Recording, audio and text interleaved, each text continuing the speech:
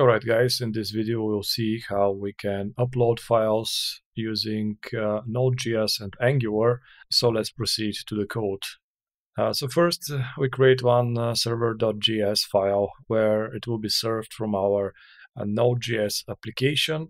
And uh, here what we can see that first we're setting up our disk storage and uh, we're setting up where the files will be stored with the destination parameter. And we have one constant there which is uh, pointing to directory uploads. And if we go to our project we have such directory uploads where our uploaded photos will be uh, stored. Then we have a file name. So the moment the file is received and saved we would like uh, to have a special uh, unique name. So we grab the original name, then uh, when it's created and the extension. Then we set up multer with the configuration of this uh, storage. The next thing uh, we'll see is how we can have an API that will handle uploads. So first we have a check whether the upload from multer is successfully performed this cover photo is actually the field that we are reading from the form or it's being sent to our API by post request. And if it's successfully uploaded using the single function, we'll have something inside of the request.file. So this callback here will run. If it's not, we just return a status of 400 with the following JSON uh, success uh, message. If there are no problems, we are just returning the image file name. So the resulting file name inside of our system, again as a JSON format to the user. Any other errors are also considered as a failure and we return a message to the users. So this is our API upload part. And then we have a second part of our server JSON related to the JSON server that we're using. So we're using a JSON server external package uh, that will serve items.json file for us. And we are configuring here um, this JSON server. And uh, what we also want is to circumvent the restrictions when making cross origin requests. So for this, uh, we set up special uh, headers for allowing uh, those requests to pass correctly. And uh, what's here uh, different is that uh, we're listening both to port 3000 for normal JSON requests and 3500 for the upload. Now on the Angular uh, site, we have one files items JSON that uh, is read by our server and served. And let's see how we can consume this file. So we have one service, item service, that actually goes and does an attempt to fetch data from our Node.js backend. So if I load up this resource here in the browser, I see the following format. It has been served uh, to us. That's how we use the HTTP client to make a GET request. And we are setting up uh, some uh, cache control headers uh, to not cache our request. And after we have a result, uh, we would like to return an object containing both uh, value and error. It will be of this type, uh, basically interface result, where we have value and error. And in case of a result, we'll make an object with value returning the result from um, the get operation. And of error, we'll just return an error message inside of the error key. So that's the functionality of uh, this observable here, get our items. And we're consuming this inside of our uh, list items component where we are loading up our item service and then we're using the get all items observable but we are managing to subscribe uh, with the rxjs interop uh, to signal to this uh, service. So it's uh, the subscription is handled automatically for us.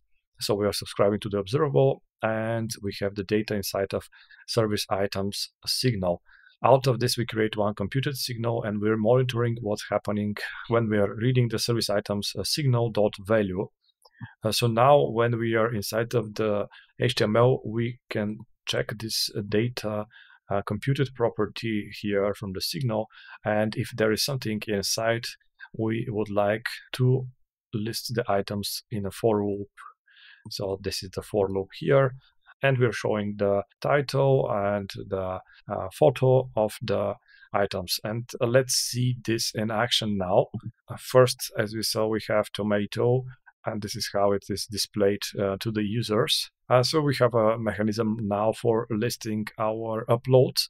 And uh, let's see how our upload form functions. At the end, we see app product form, and we can go to it. And, uh, we are in the product form component. So in this um, form component, we have one function that reads the past URL. And this function read URL, it's used inside of our form uh, whenever we place something inside of our image input. So here we have one template reference variable and we are passing it to our read URL function. We're setting up file reader and we read the file and we add one event listener that updates the photo, which is our placeholder with the current uploaded image. Then what we see in the form is that the new item title and description are being mapped to the ng model. And uh, actually, we have the information about our item in this uh, new item member variable. And the moment we press on the add item uh, button, we enter inside of this method where uh, we use signals inside of our service to set up the uploaded item details as well as the selected file. And when they are set, we again subscribe to one uh, function that's called add item. So the add item, as you can see, it's a little bit more complex. It's a method returning observable. And when we prepare our uh, form data, we send it first to the API result inside of our server.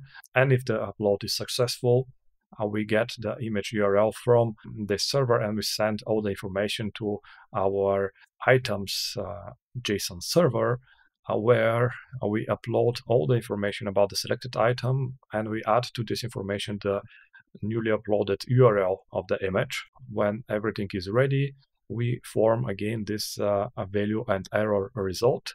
Here, if it's successful, we just fill the value part. If we have error, we just fill the error part. Later, we would like uh, from uh, the information from this add item to uh, get some values and to display them in the template. So for this, we have created one additional signal with a tap operator. We create a side effect. So the moment the asynchronous operation uh, completes, uh, we would like to set a signal with, uh, again, value and error. And this signal is add data signal. And uh, here again, we have two computed values. One is data and one is error message. They're based on the add data signal.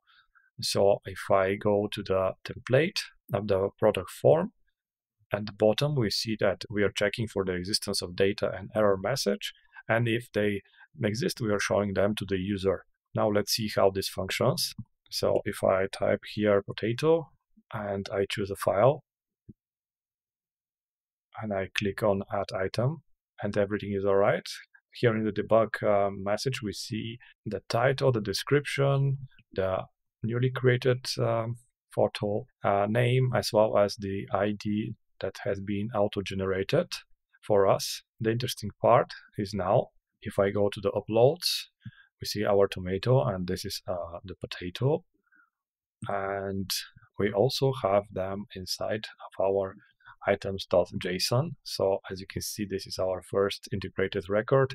And then the JSON server has created uh, the new record for us for the potato.